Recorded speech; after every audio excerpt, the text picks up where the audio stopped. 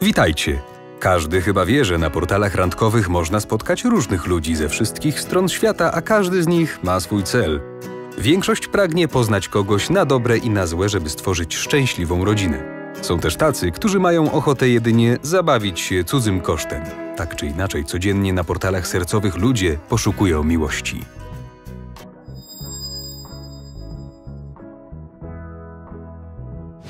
Niedawno na jednym z takich portali pojawiła się śliczna dziewczyna, która swoimi zdjęciami wywołała poruszenie w całej sieci.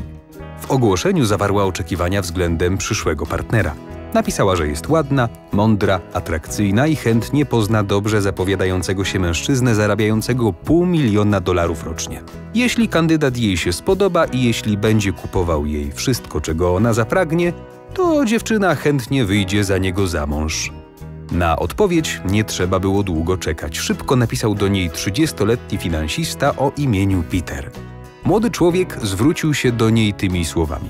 Dzień dobry, zainteresowała mnie pani oferta. Jestem gotów ją przemyśleć. Mój roczny przychód dwukrotnie przewyższa pani oczekiwania.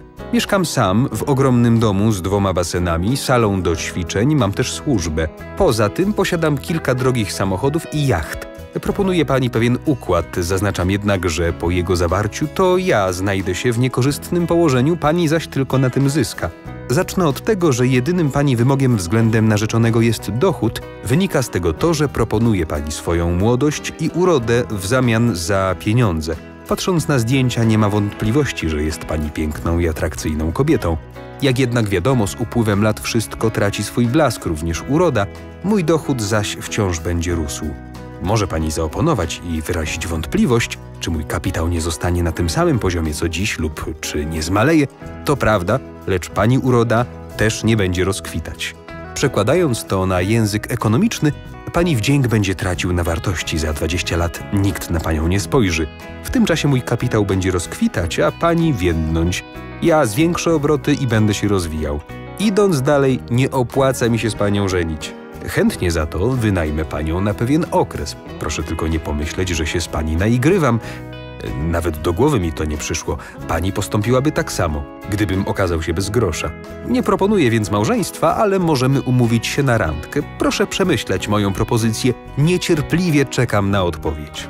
Nie wiadomo, jak zakończyła się ta historia. Czy dziewczyna poszła na randkę, czy też zignorowała Petera.